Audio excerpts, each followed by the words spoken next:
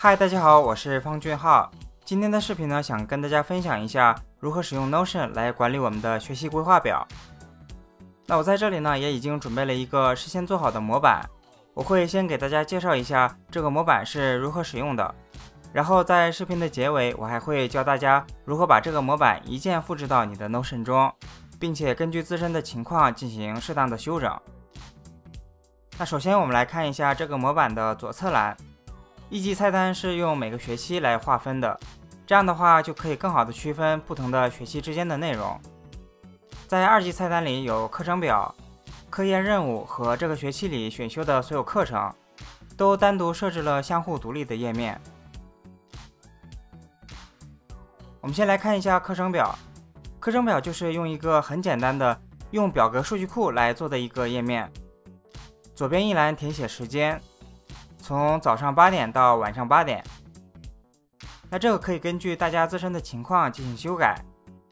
上边一栏填写星期，这里的参数设置的是 select 单选。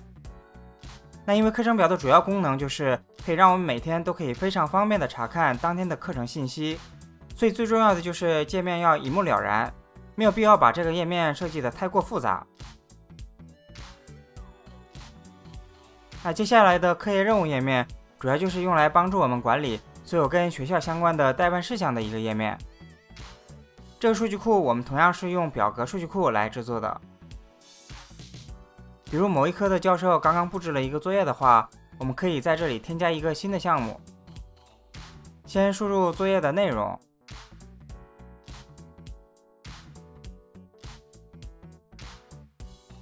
设置一下是哪一科的作业。作业上交的日期是哪一天？这一项任务的属性，然后需要进行备注或者上传附件的话，也可以添加进去。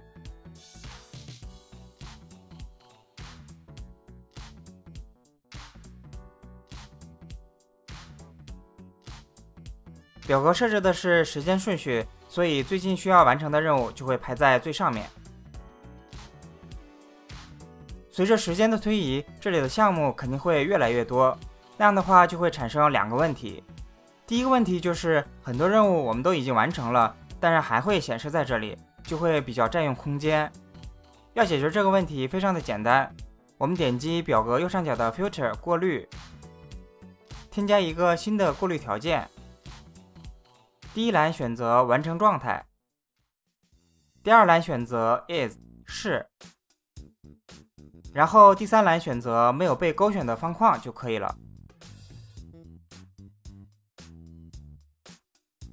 这样的话，我们每完成一个任务，在这里进行勾选的话，就会被自动隐藏掉了。那第二个问题就是表格里的项目太多了，就会显得非常杂乱和无序。比如我们想在一大堆的任务中快速查找某个课程的所有任务。或者所有紧跟考试相关的任务的话，该如何操作呢？那要解决这个问题也非常的简单，因为每一个项目里都设置了不同的属性，我们就可以利用这些属性来制作不同的表格出来。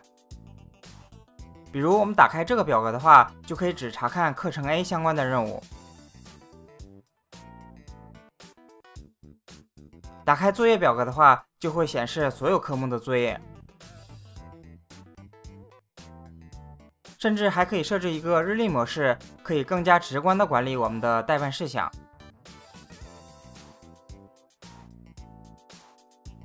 那要设置这样的表格，我们可以在表格的左上角新增一个查看方式，比如我们在这里新增一个查看已完成的任务的表格，类型选择 Table 表格后创建。然后点击右上角的 Filter 过滤，添加一个新的过滤条件。第一栏选择完成状态，第二栏选择 is 是，然后第三栏选择已被勾选的方框就可以了。最后我还会把顺序设置成按照时间顺序降序排列，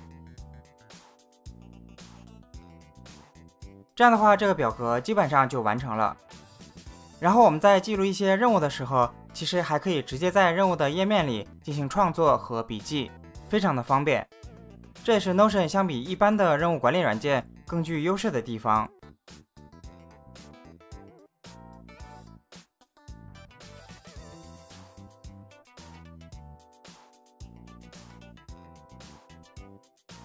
最后，我们再来看一下课程 A 的页面。这里面主要是由课程的相关信息、课业任务、课堂笔记和相关书籍这四个内容组成的。那相关信息里面可以记录这节课的教室在哪、教授的姓名、联系方式和办公室之类的信息。然后下面的课程 A 的未完成任务，其实并不是重新做的另一个表格。这跟刚才的课业任务是同一个数据库，我们只是把刚才的数据库链接复制，然后粘贴到了这里。创建 linked database 后，设置了几个筛选条件，这样的话就会只显示课程 A 的所有未完成任务了。我们在这里进行的任何操作都会同步到主数据库中。那科研任务下面的课堂笔记。顾名思义，就是用来记录课堂笔记用的，就没有什么好说的了。那最后就是课堂相关书籍。那有些科目除了需要阅读指定的教材以外，教授还会要求阅读一些其他的书籍。那这些书籍的信息呢，我们就可以记录在这里。那基本上这套模板呢就都介绍完了。大家要使用这个模板，可以打开这个模板的链接。然后点击右上角的 Duplicate 复制就可以了。链接呢，我会放到视频下方的简介栏里。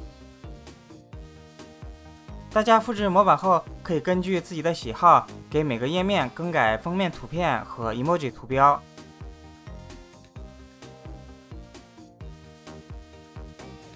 首页中每一项的背景颜色，可以点击右键后在 Color 中更改。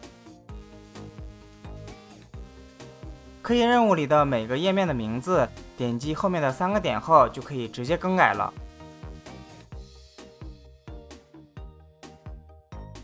课程的名字和任务的类型也都是一样的。那大家对这一期的内容有什么想法和建议的话，可以在评论区留言，我们可以一起讨论。